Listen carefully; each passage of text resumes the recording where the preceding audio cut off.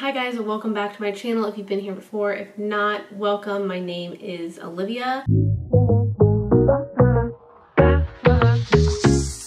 a graduate student outside of St. Louis, Missouri, studying chiropractic, so I'm like student doctor, I guess. This is a, such a highly requested video in almost every single one of my videos, and I get like DMs on Instagram asking me to do a video or asking questions about how I study, how I take notes, how I like revise my notes for exams, how I use my iPad also is a big question. So people ask me lots of questions about how I use that because I like talk about it in my vlogs or like you see it in my vlogs.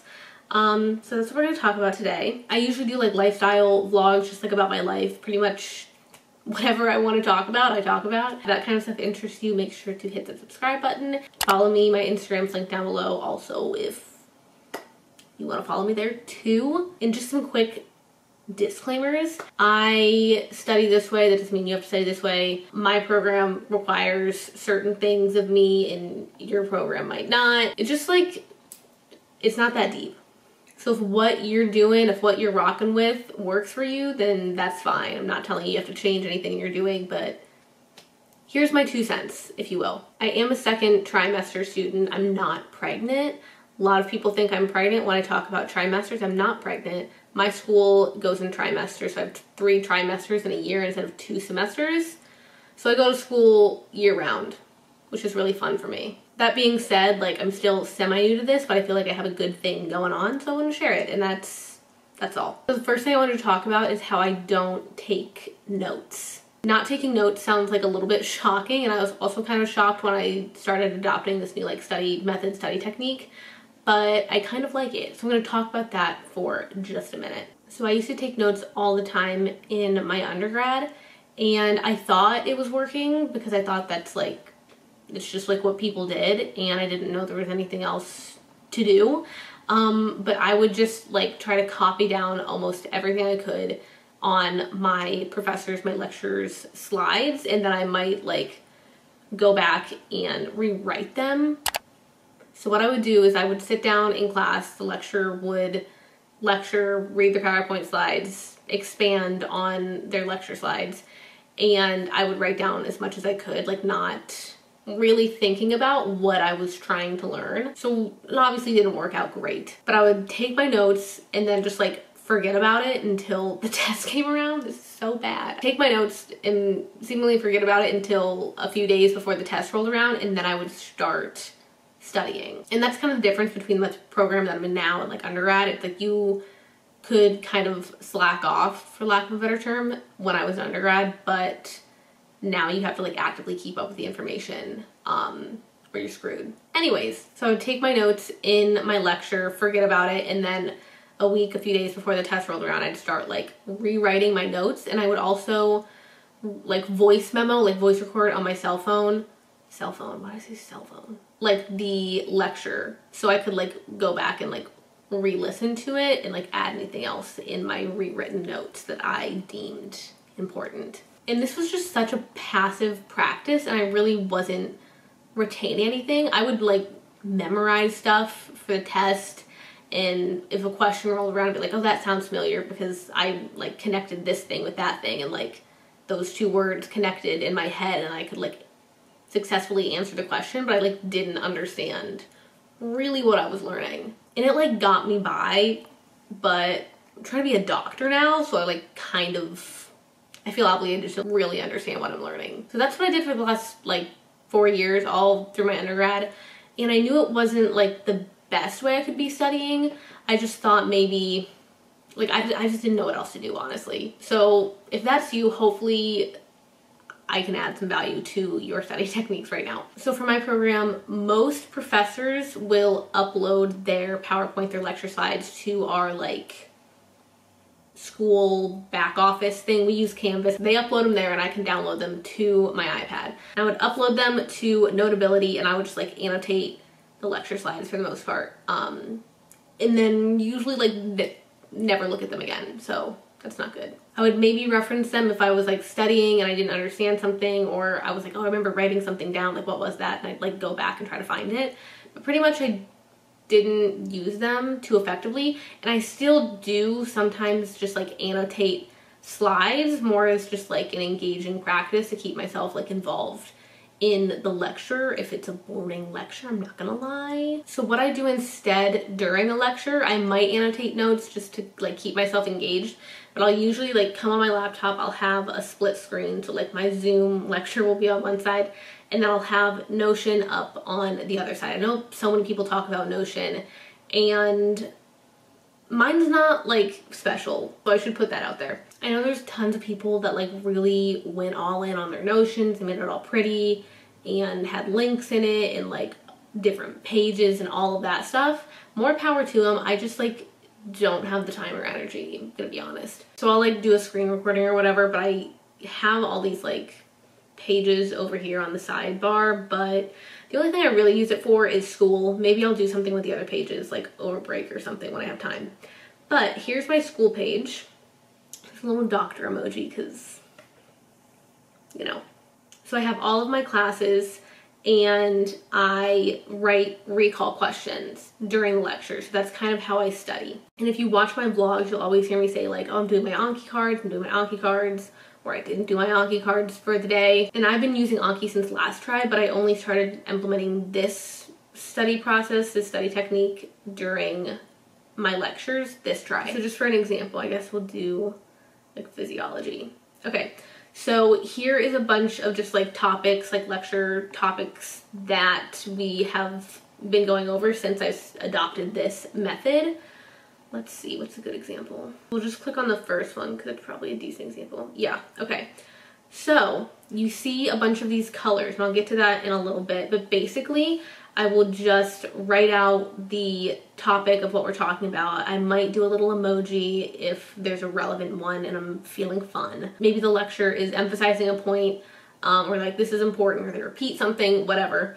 I will create a recall question for myself. Um, so it's basically like real-time flashcards, that makes sense? And I was doing this solely on Anki for a little bit last try. And I was doing the same kind of thing, like split screen Zoom lecture and the other half was my Anki. But I don't have Anki on my iPad or on my phone because it's like $25 for the mobile app and I just, I don't want to pay for it. But I like Notion because it kind of organizes them a little bit more I don't know, pretty much however you want because you can customize your Notion, but it's just a little bit more organized and structured and a little bit more like notes, if that makes sense. So this is an old page. I haven't actually went in and changed the colors on these, but what I used these colors for, I don't do this all the time, but sometimes I'll do it. I will go through these questions and if I didn't know it at all the first time, then I like highlight it red. If I kind of understood it or got a portion of the question right, yellow. If I'm like good on it, green. And this is good for like on the go because I don't have that like Anki algorithm for my mobile devices. I will use this like color coding system if I'm like walking on the treadmill or I'm like waiting um, in a waiting room for an appointment or like something. I can pull up my phone. I have the Notion app on my phone and I can go through like the red or yellow questions um, that I know I need to work on and not just like keep repeating the questions that I know I have down. But basically what I do is I just type out these questions in Notion using the toggle feature and I love the toggle feature because it's like a little flashcard, like a little baby mini flashcard. So basically the toggle feature just like hides your answer um, so you can quiz yourself in that way. So once I have all the questions down that I want for that topic, I will go convert my Notion page into an Anki deck. And I'm not going to go through how I do that right now because it, that, that could be a whole separate video and it's just, I don't know. There's probably a bunch of videos on YouTube. I'll link the one down below that I used the first time I did my conversion. I can open up my Anki cards and then answer them like that. There's a, also a bunch of videos on like the Anki algorithm, how to make Anki cards, all of that that are made by people that are a lot smarter than I am. The reason I love doing Notion and Anki and like not actually just like passively writing notes is because it implements my two favorite study techniques. And if you watched Ali Abdaal, then you know I'm about to say, but like he knows where it's at. Spaced repetition and active recall. Active recall is essentially like just testing yourself. So flashcards or like drawing um, pathway from memory or we have like practical situations that we have to do as like student doctors. Um, we'll like run through like clinical scenarios like with our friends, whatever. And the key is you have to do it without like looking at your notes first. So active recall kind of like forces you to not memorize stuff, which is what I was not trying to do. I guess I was trying to do it in undergrad, um, but I didn't realize how this sounds traumatic, but detrimental it could be to like my actual like learning process. The action of really pulling that information out of your brain helps you remember it more, remember it longer, make different connections with the material so you're just like more likely to recall it when a test question comes around. So what I could be doing is I could be just like annotating my lecture notes and then when I want to study I could just read all the way through it, not really retain anything but feel like I'm doing something because I'm like being productive or I could just sit and read my book and highlight it and think I'm being productive instead of actually engaging with the material and writing myself questions. Next thing is spaced repetition, and this is what Anki is really good at. So the way that Anki does their flashcards is absolutely genius, and it implements this spaced repetition. Instead of having like a physical like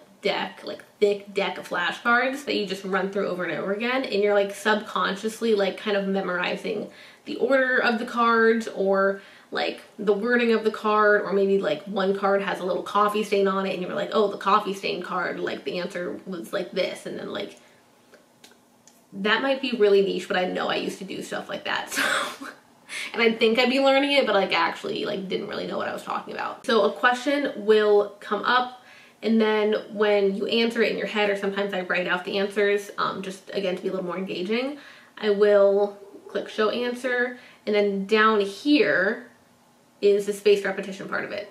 So if you didn't know what was going on, didn't know the answer, you can click again and it'll give it to you in 10 minutes. And you can change these intervals in the settings in Anki, but I just kind of go with what it gave me. If it was super easy and you got it, you know, right away, you can click easy and it will give it to you in this case 1.7 months. But I think it's like if you get it, it can be good at one day or like super easy and then you can move it to like four days. Um, and then after four days, if you get it again, maybe it's six days. But if after six days you're like, ah, I don't really remember it, it'll go back in your deck and show up more frequently because you need to like review that material, if that makes sense. So it's just like a really, really good way to learn stuff and keep up on material. And there's so many studies that have been done on active recall, spaced repetition, and all that, um, that prove time and time again that these study methods are more effective for students or just like learning things in general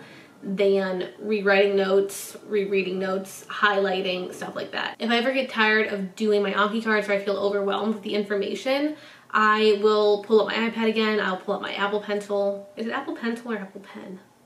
Apple Pencil. I'll pull this out and I will open up my Notability and I'll just do a blank page and I'll do a mind map. So like one topic in the middle and then it like branches out to another topic and another topic and like you kind of just like see everything from like a bird's eye view. It makes me feel kind of like I know more than I think I do. One, it boosts my confidence for like answering further questions, but it also helps form relationships and connections with the material.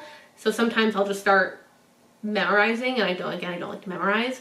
So I, will feel myself start to just get in a rut of like almost memorizing and I'll stop, I'll start these mind maps just so I can have a better overview understanding of the material and be able to see like how different things connect and the relationships between a bunch of different things. The key is you can't look at your notes to fill in the blank spots on your mind map or your pathways or like, you know, whatever you're trying to do.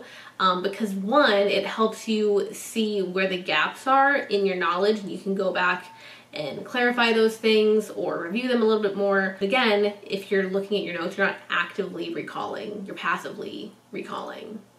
And we like active recall. That's gonna be it for this video. I hope you enjoyed, I hope you learned something.